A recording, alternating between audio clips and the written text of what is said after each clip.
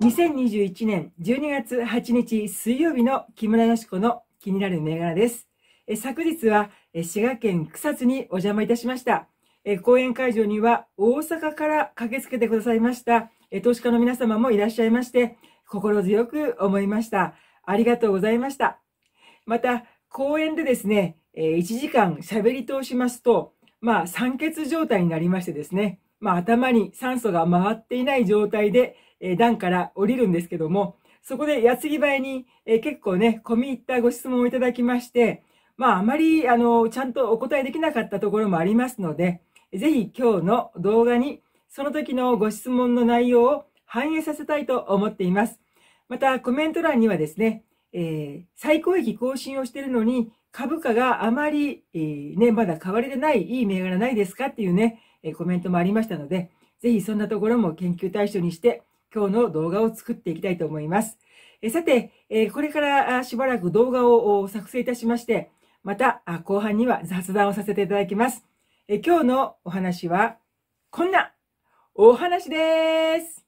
えー、今日の気になる銘柄は、大型分割株の今後と題しましてお送りいたします。さてですね、昨今大型分割が続いておりますね。エスティック。これ12月株式分割の銘柄なんですが、多数機、ブランディング、エンジニア、そしてグローバルウェイですね。システナは1対4ですね。エスティックと同じ1対4。そうしまして、えー、T&S が1対2、サンサンが1対4ですね。まあ、大きな分割だと思います。そしてですね、11月に目を向けてみますと、アスタリスクですね。分割の前には随分上がっていましたね。そして東京機械製作所、えー、サツドラホールディングス、1対3ですね。そしてグローバルウェイ、セルロース、大真空、こちらも分割を発表した時に上がってましたよね。6962ですね、大真空。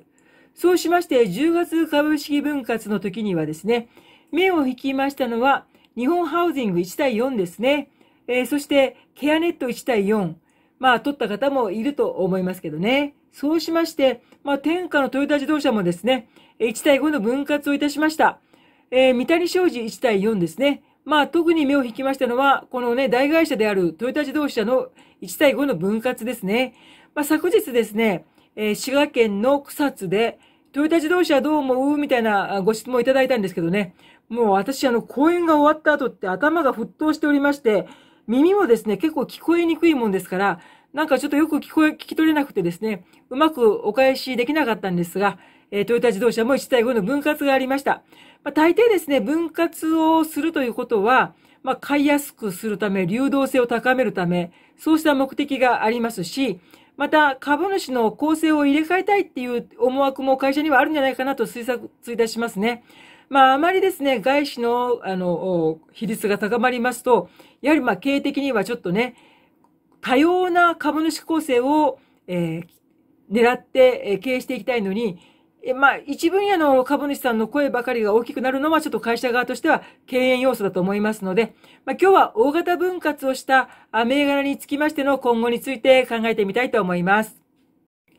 さて、今画面にお示ししましたのは、あ1対5の分割をいたしましたトヨタ自動車ですね。コード番号7203のトヨタ自動車、本日は2068円で引けました。37円安ですね。まあ、外部環境はですね、まあ、新型のおかげでですね、まあ、部品が調達できない中古自動車の方に流れがいってるというようなことでですね、ま、ちょっとその外部環境が今のところ不安定ですよね。生産活動にも影響出ているところが痛いですね。ただし、まあ、1対5の分割でですね、今の値が2000円台ですからね、ここはやっぱり仕込んでおいていいんじゃないでしょうか。1対5も分割いたしますと、どうしてもですね、まあ5つもらったうちの3つぐらい売っておこうという動きが出ますので、その動きでしばらくは足踏みが続くと思います。本日ですね、名古屋証券取引所のオンラインセミナーでも申し上げたことなんですけども、12月と1月はもたつきやすいと思います。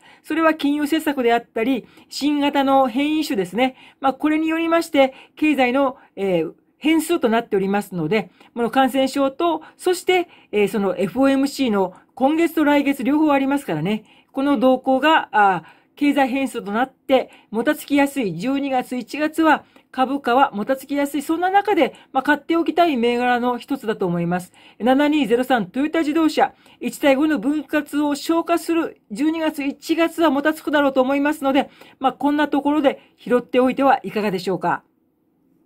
そして、えー、9719の SCSK ですね。こちらもですね、10月の分割を消化しつつ、1対3のあの分割の消化しつつですね、今のところですね、えー、おとなしい動きですけども、今日は40円高。NVIDIA のですね、メタバースの関連銘柄としてしまして、え今日ニュースが出ましたね。え9719の SCSK です。デジタルトランスフォーメーション関連として人気の高い銘柄ですけども、まあ、NTT データと並んでですね、この SCSK も面白いんじゃないでしょうか。PR が21.0倍、PBR が3.02倍、えー、配当利回りが2.04%、信用倍率が1.32倍というところですね。まだ時価総額がですね、7139億円ですから、もう少しですね、会社側としては、人気が出てですね、もうちょっと高値にになれば、時価総額がアップ図れるのになーっていうところだと思いますね。えー、もちろんですね、この SCSK 並びに NTT データ、そしてかつて木村義子の気になる銘柄でご案内してきました野村総研、そして伊藤忠テクノ、みんな買いでいいと思ってるんですけど、特に今日は SCSK1 対3の分割を消化して買いやすくなっているところで、えー、買っておきたいなというふうに思います。えー、さて、この SCSK、今日は2284円でした。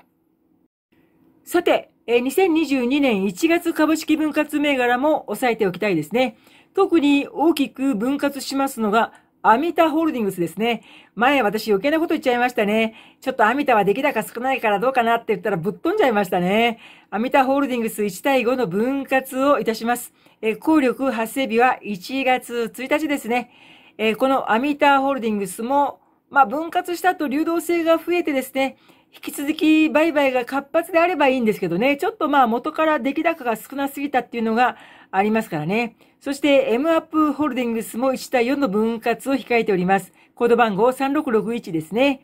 えー、そうしましてですね、かつて取り上げて株価展開しました応用技術1対2の分割をしますね。え、12月29日が権利落ち日ですから、まあ、最終売買日28日までに、まあ、買うかどうかね、ちょっと検討してもいいですよね。そして、えー、産業廃棄物の違募金ですね。えー、5699、こちらは1対2の分割をいたしますね。まあ、何しろですね、分割をするということはチャンスですよね。まあ、しばらくえー、2つに株が増えたから1つ売っとこうかなという需給の緩みを狙ってですね、買っていきたいですね。まあ、私はあ5699イボ金もいいと思っていますし、4356の応用技術も引き続き注目していきたいと思いますね。えそして、えー、4722フューチャー。こちら、菅さんのブレーンの金丸さんというところがね、引きだったんですけども、1対2の分割がありますね。えぜひですね、この中で言いますと、まあ、アミタホールディングスちょっと出来高少ないから、未だに私はちょっとまだ、まあ、そんなに前のめりになれないんですけどね。えー、この中では応用技術ですとか、フューチャー、イボ金、こんなところを見ておきたいと思っております。えぜひですね、分割株の需給の緩み、こちらに注目して前から欲しかった有料株を買う作戦が一つ。そして、元から地味なんですけども、まあ、1対2などの分割でですね、適度に需給が緩む銘柄の、えこのね、低迷中のところを買うのも一つ。まあ、応用技術とかね、私なんかこの地味さが好きなんですけどね、まあ、人間が地味だから地味な銘柄が好きというふうになっちゃうのかなと思うんですが、まあ、応用技術とかね、イボ金なんか、すごいなんか会社としては好きな会社なんですけどね、えー、皆様、有料株、超有料株のトヨタ自動車、SCSK で行くか、あるいは応用技術、イボ金のようなちょっと地味めの銘柄で行くか、ぜひご検討くださいね。それでは、金曜日、えー、このね、今週ちょっとバタバタしてましたので、まとめのお話と、えー、来週の展望につきましてのお話を長めにしたいと思っております。ぜひ金曜日も見てくださいね。この後ちょっぴり雑談いたします。さて、いかがだったでしょうか、えー、ここからは少し雑談タイムとさせていただきます。まあ、この動画をご覧になっている皆様の中には、老老介護といいますか、私と同じように、えー、年老いた親をですね、まあ、あの、施設に入ってもらってるんですけども、まあ、そのサポート役として、え面倒を見てるそんな立場の方もいらっしゃると思います。まあ、その、老人にとってみれば私はですね、えー、使いっぱで使いやすい相手なんでしょうね。もう、あの、電話をですね、どんどんかけてきまして、もう公演の準備をしている時であろうと、なんであろうとかけてきまして、ジュースがないの送ってとかですね、化粧品がないの送ってとか言ってですね、もう全く自己中の世界で、えー、私は振り回されております。だけど、まあ、やってあげられることは、あの、できるだけ、えー、してあげたいなと思ってるんですね。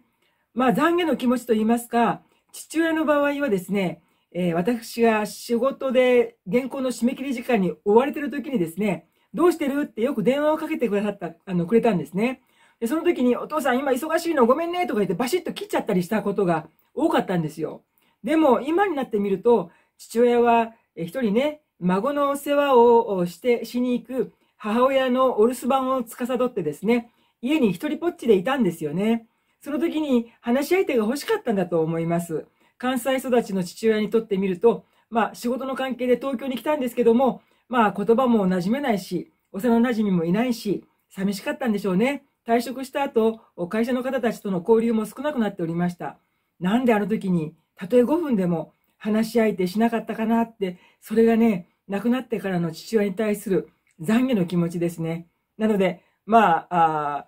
going my way で我が道を行く超長生きのうちの母親に対しては、わがままなやつだなと思うんですけども、まあ、面倒を見ていく、うん、精一杯のことをしてあげたいなというふうに思っています。まあ、親御さんの立場でこの話を聞かれるのと、え介護する側のサポート隊としてえ聞かれるのと立場が違うと思いますけども、えー、まあそんなあ近況でございます。えー、それではですね、またあ株価も株価の方も時々ね、あ、元気じゃんっていう風な展開となっておりますので、えくさくさしないでですね、えー、地道にこの株式市場と付き合って、え、自分自身の資産、皆様の資産が守られて、そしてすくすくと育っていくように動画を研究して作ってまいります。また講演会場でお答えできなかった質問にも、この動画を通してお答え申し上げたいと思いますので、引き続きよろしくお願いいたします。え、12月14日は大阪に参りますね。大阪朝日ホール。ぜひですね、まあ、当日お越しの方は、まあ、感染症対策で、あの、住所と連絡先を伺うんですけども、何かあった時にすぐ連絡できるようにということで、えー、連絡先を伺うんですけども、ぶらりといらっしゃっても大きな会場ですから入れると思います。日本証券新聞社の方で主催しておりますので、ぜひふるってご参加ください。それではまだまだ今週続きます。金曜日にもお目にかかりたいと思います。それでは皆様、良い一日をお過ごしください。また金曜日皆様いつもご視聴ありがとうございます。評価ボタンを押していただくと動画を作る時のヒントになります。またですね、コメントをお寄せください。皆様がどのようなことをお考えになっているか知ることができるととても嬉しいです。またですね、チャンネル登録をいただきますと励みになりますので、よかったらお願いいたします。それでは引き続きぜひこの動画とお付き合いくださいね。また様々研究してお届けしてまいります。